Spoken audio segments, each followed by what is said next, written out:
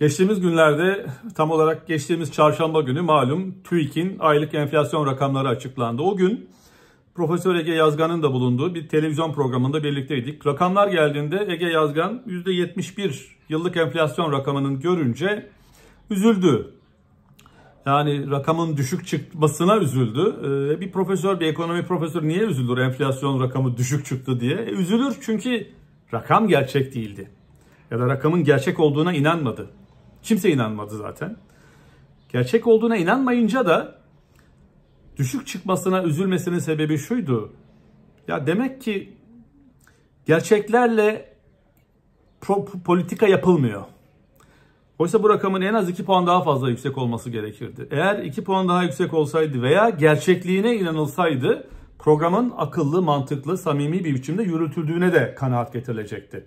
Üzülmesinin sebebi buydu. Ya galiba rakamlarla oynanıyor. Hani duygusu veya gerçek olmayan rakamlar açıklanıyor fikri. Galebe çaldı ve herkes biraz bu rakamlara burun kıvırdı. Acaba enflasyonla kendi hakikatine sahip olmayan bir şekilde mi mücadele edilmeye çalışılıyor? Esasen enflasyonla mücadele edilmiyor da enflasyonla mücadele görüntüsü yaratılmaya mı çalışılıyor? Tablo buydu. O an böyle bir hissiyat her tarafı sonra da piyasaları da esasen kavradı maalesef. Bugün bakıyorum Sözcü gazetesinde Murat Muratoğlu bir, bir veri açıklıyor. Ya da bir duruma dikkat çekiyor. Aynı şey. %38 oranında bir elektrik zammı geldi malum. Ama bu zam Temmuz'a sarkıtıldı. Sonra benzin, mazot ve otogaz zamları var. Bu da Haziran'ın son haftasında yapıldı. Son haftasında yapıldı. Bu, bu, bu hareketler, bu Temmuz'a sarkıtmalar, Haziran'ın son haftasına aktarmalar nedir? İşte geçen ayın enflasyonunda görünmesin. Görüntü. Görüntüyü bozmayalım. Şimdi böyle mi mücadele edilecek enflasyonla? Kendi hakikatine sahip olmamak derken kastımız budur. Zam ihtiyacı içindesiniz. Zaten başka bir şey yapamıyorsunuz. Bunu da böyle işte bu ayın enflasyon rakamına yansımasın, şuna yansısın, buna yansımasın. Orada görünsün, burada görünmesin.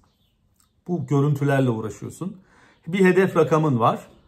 Oraya ulaşabilsin diye veya oraya ulaştığının algılansın, gör, görünmesini sağlamak üzere diyelim. İşte böyle hareketler, böyle kalem oyunları, rakamla oynamalar veya kendi kafana göre bir sepet üreterek böyle bir enflasyon rakamı çıkartmak. Ege Yazgan'ın e, dikkatini çektiği şey buydu zaten. Trabzon Çaykara'dan Hasan Bey mesaj atmış. Diyor ki bir doktor muayene ücreti 34 TL. TÜİK'in enflasyon hesabı televizyondan ekrandan bir görüntü çekmiş göndermiş. Diyor ki TÜİK'in enflasyonu bu rakamlarla belirlediğini görüyorum. Bana birileri doktor ücretinin nerede hangi hastanede 34 lira olduğunu bir anlatsın diyor. Doktor muayene ücreti 34 lira görünüyor. Özel yurt ücreti 457 lira görünüyor. Böyle hangi hastanede nerede 34 lira olduğunu anlatsın. Ben kronik rahatsızlığı olan bir insanım emekliyim oraya gideceğim diye soruyor. O da inanmıyor. Ege Yazgan'ın inanmadığı şey Hasan Bey de böyle inanmıyor. Ama bu inanmama halleri içinde, bu sahtelik içinde bir enflasyonla mücadele programı yürüttüğümüzü iddia ediyoruz. Ve herkes hemfikir ki gerçekten bu enflasyonun düşeceğine dair bir beklentiyi, samimi bir beklentiyi piyasada, piyasa oyuncularında, halk arasında yaratamazsanız gerçekten de düşüremiyorsunuz. Ama böyle fiktif tablolar içinde yürüyoruz. Sıkıntı biraz burada. Vergi toplayamıyorsunuz.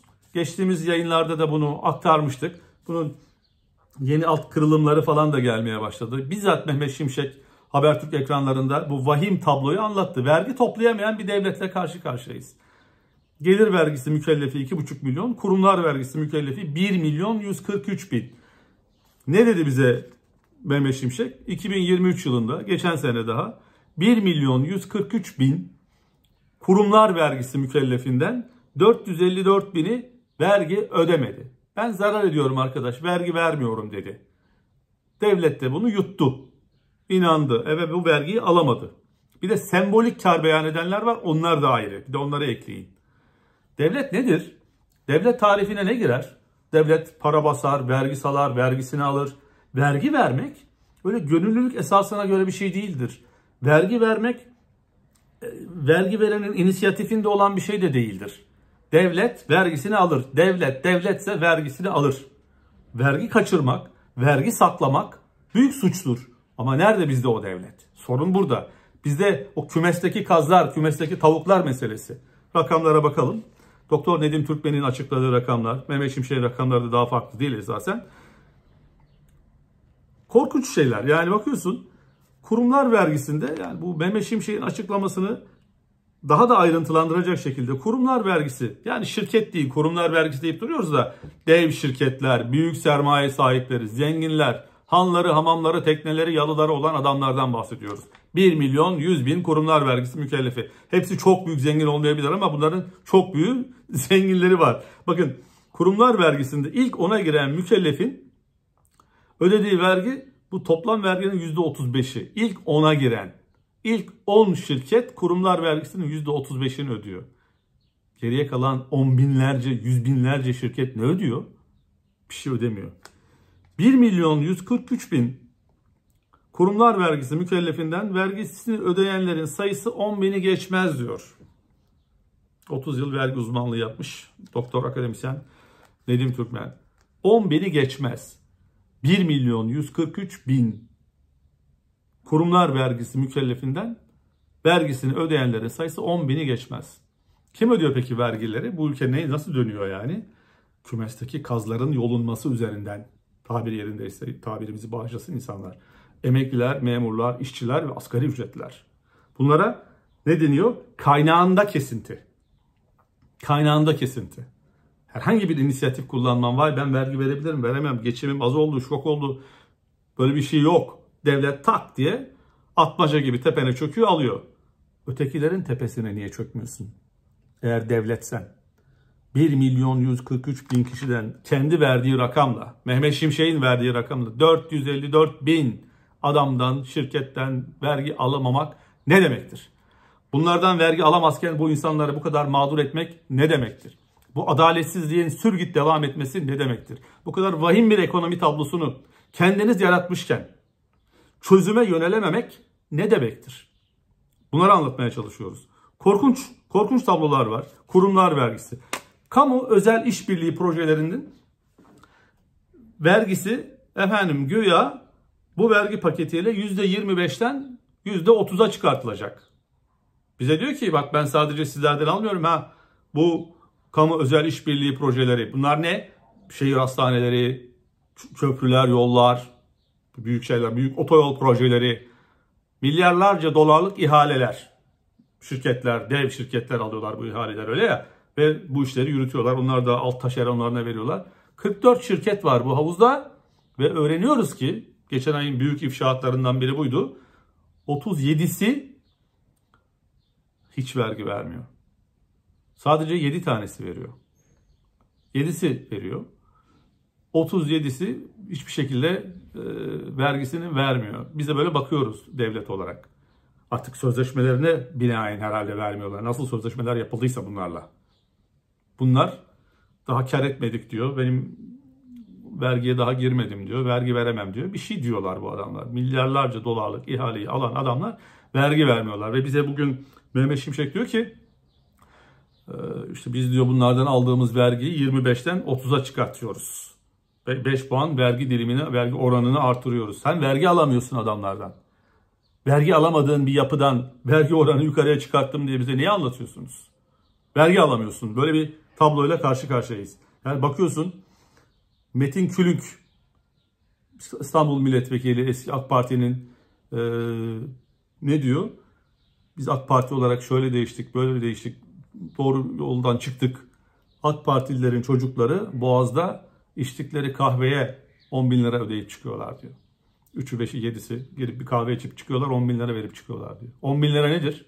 10 bin lira bizde nerede? 10 bin lira kavramı bizde 3 milyon en az 3 milyon emeklinin aldığı aylık maaş. Bunları ailelerine vurun, sayıyı görün, mağduriyeti görün. 10 bin lira alan 3 milyon memur, memur var, e, emekli var. 16 milyon emeklinin Ortalama maaşı zaten 12.500 lira civarında. Bunların 3 milyonu sadece 10 bin lira alıyor. Ötekiler de 20, 30, 40 alıyor değil. Ortalaması 12.500 lira. AK Partililerin çocukları Boğaz'da kahve içip 10 bin lira hesap ödeyip kalkıyorlar diyor. Bunu söyleyen bir AK Parti Eski milletvekili yöneticisi bir AK Partili anlatıyor bunu. Biz ne hale geldik, nereden nereye geldik? Evet o hale geldiniz. Akılcı, reformcu, demokrat, e, halkçı diyebileceğimiz bir sokağın sesi olarak, sokaktan gelen bir siyasi hareket olarak bugün sokağa burun kıvırır hale gelmiş. Akılcılıkla, rasyoneliteyle irtibatlarını kopartmış. Gayet popülist uygulamalara girmiş.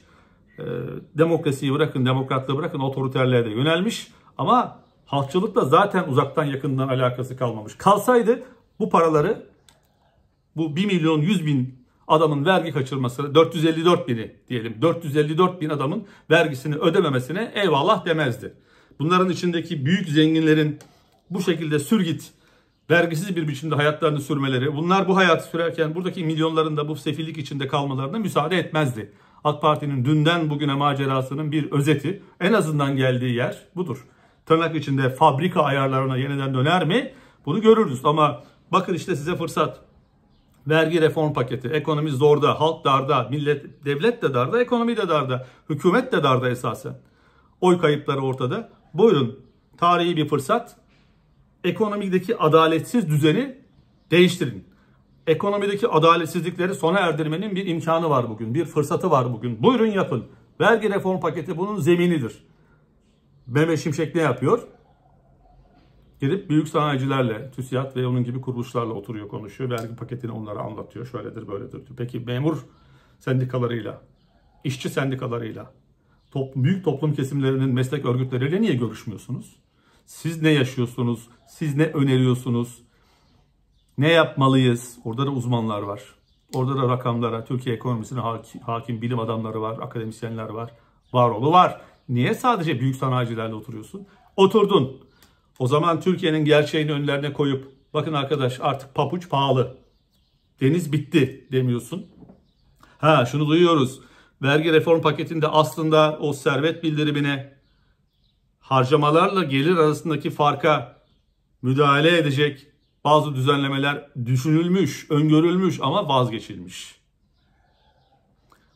Niye vazgeçiyorsunuz? Kimin baskısıyla vazgeçiyorsunuz? Geçmeyin. Nasıl bir düzenin partisine dönüştüğünüzde vazgeçiyorsunuz? Ekonomideki tercihleriniz hangi toplumsal sınıfların temsilcisi olduğunuzu gösterir. Sağcılık, solculuk esasen buralarda. AK Parti'nin öteki konulardaki söylem üstünlüğü devre dışı kaldı. Buyurun bu konularda yürüyün. Büyük toplumsal kesimlerin sözcülüğünü yapın. Hayır. Onlarla masaya oturup bir de onların bazılarından da anladığımız kadarıyla hani fırça yedi demeyelim de eleştiriler. İşte kayıt dışı ekonomiyle mücadele edin. Ama öyle servet bildirimi, bizden aldığınız vergiler bunun üzerine gidilmesin mesajları. Bunlar kamuoyuna yansıdı, basına yansıdı. Sonuç, sonuç anladığımız kadarıyla 1960'larda bu ülkede var olan işlemiş bir servet bildirimi, gelirle harcama arasındaki farkın hesabını sorma, daha açık ifadeyle nereden buldun yasası gelmiyor. Ne geliyor? Palyatif tedbirler, yurt dışı harçlarına zamlar, bunun gibi şeyler. Bakın 25'i 30'a çıkartıyormuş şu kamu özel işbirliği ortaklık. Vergi alamamış, alamadığı bir verginin %5 artacağını söylüyor bize. Yarım milyon adam vergisini vermiyor. Yarım milyon şirket. Bunların içinde dev şirketler de var. Vergi vermiyor. Bir akademisyen, e, devlette de çalışmış bir akademisyen bana bir, bir ifade kullanmıştı. Unutmuyorum onu. Gürkan Bey dedi, vergi mevzuatına hakimseniz Türkiye'de vergi vermeniz mümkün değil. Vermezsiniz yani dedi. Altından girer üstünden çıkar. Kendinizi kar ediyor göstermez. Bir şekilde vergi ödemezsiniz. Vergi ödemezsiniz. Memurlar, işçiler, emekliler, asgari ücretliler sizin vergi ödememe şansınız var mı? Yok. Ama bunların var. Vergi mevzuatına hakim olarak kurdukları irtibatlarla, ilişkilerle, baskı grupları oluşturarak var ve almıyorlar. Vergili, vergisini alamayan bir devlet. Vergisini alamayan bir devlet hem akıl dışı politikalarla, yüksek enflasyon varken faizi zorla, ısrarla, nas diyerek aşağıda tutuş, tutmuş bir hükümet. Enflasyon patlamış, millet inim inim inlerken tedbir dediğimizde devlet tedbir demektir. Müdahale demektir. Çözüm üretmek demektir. Yine bize palyatif tedbirlerle işte zam oranını bir ay öteye kaydırarak, beriye kaydırarak böyle hamlelerle durumu idare etmeye çalışıyor. Maalesef tablomuz bu. En azından bugün bu.